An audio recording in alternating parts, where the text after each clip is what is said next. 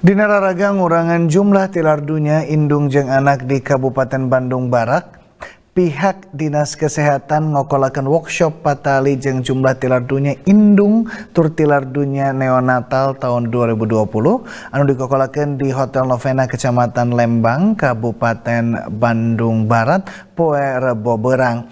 Eta kegiatan disorang keringlar nambahanana eta kasus dina tahun 2020 hiji eh, Sokomo sasal COVID-19 jadi selesai hiji kasang tukang reana AKI jeng AKN di KBB. Di salah sahiji hotel di Kecamatan Lembang, Kabupaten Bandung Barat, Dinas Kesehatan Kabupaten Bandung Barat ngokolaken kegiatan workshop angka kematian ibu atau AKI jeng angka kematian neonatal atau AKN tahun 2020.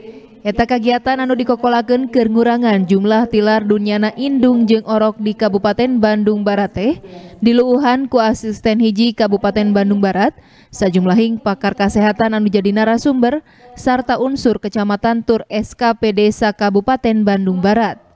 Eta kegiatan teh dilakonan lantaran jumlah tilar dunyana indung jeng anak di Kabupaten Bandung Barat masih kawilang rea. Sokomo mangsa sasalad COVID-19 ayeuna jadi salah saji faktor ngajaulna jumlah tilar dunyana indung jeng anak di Jawa Barat, utamana di Kabupaten Bandung Barat. Kukituna minangka tarekah pikeun ngurangan jumlahna butuh rukun gawe lintas sektoral anu lain ukur di paju ku Dinas Kesehatan Wungkul.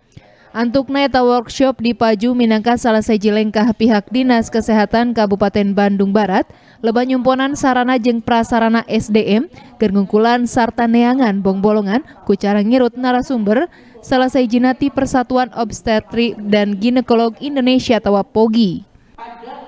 Dengan workshop ini kita akan mencari solusi terkait eh, masih tingginya angka kematian ibu di terutama itu ya aki itu di Kabupaten Bandung Barat. Jadi kita kan di Jawa Barat itu sebagai penyumbang ke angka kematian ibu keempat di Jawa Barat itu. Nah ini kan tentu saja harus dicari lah jalan supaya nanti eh, angka kematian ibunya menurun, ya menurun.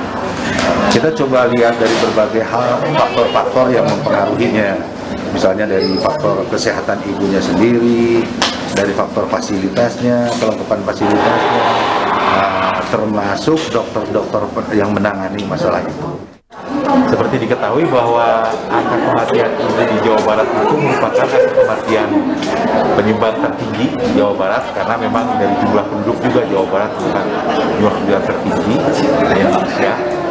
Jadi dengan upaya-upaya yang kerja kerjasama baik itu lintas sektoral ataupun lintas uh, instansi ini merupakan kegiatan yang sangat dibutuhkan. Jadi angka kematian penurunan kematian ibu itu bukan hanya tanggung jawab bidang kesehatan, tapi uh, instansi lain sangat uh, dibutuhkan dalam bekerjasama atau bersinergi dalam upaya angka kematian ibu. Ya pandemi mempengaruhi ya, mempengaruhi pelayanan kesehatan, terutama pelayanan ibu hamil dan ibu bersalin karena di situ kan uh, prosedur yang biasanya bisa dilakukan dengan memperhatikan protokol kesehatan tidak semua prosedur bisa dilakukan dengan optimal karena kita tetap harus memperhatikan uh, protokol kesehatan ini. Semoga pertemuan hari ini di tahun 2021 bisa menurunkan angka kematian ibu dan angka kematian bayi di mana uh, lebih ditekankan lagi supaya lebih baik dari tahun 2020. Kita berupaya dari segi uh, koordinasi dan kebijakan atau regulasi seperti itu dan uh, dengan tujuannya sama upaya untuk uh, menurunkan angka kematian ibu dan angka kematian e, bayi di Kabupaten. Tepi Kakiwari, Jawa Barat masih dicindekan minangka provinsi anu nyumbang jumlah tilar dunia AKI turta AKN Pangreana di Indonesia, dume jumlah panggegek Jawa Barat Sakitureana. Ari di Kabupaten Bandung Barat tepi ke akhir tahun 2020 jumlahnya masih katitih rea, serta dina hambalan ke opat Pangreana di Jawa Barat. Kukituna dina tahun 2020 hiji jumlah AKI jeung AKN di Kabupaten Bandung Barat dipiharap mampu dikurangan kalawan maksimal. Algi Muhammad Gifari, Bandung TV.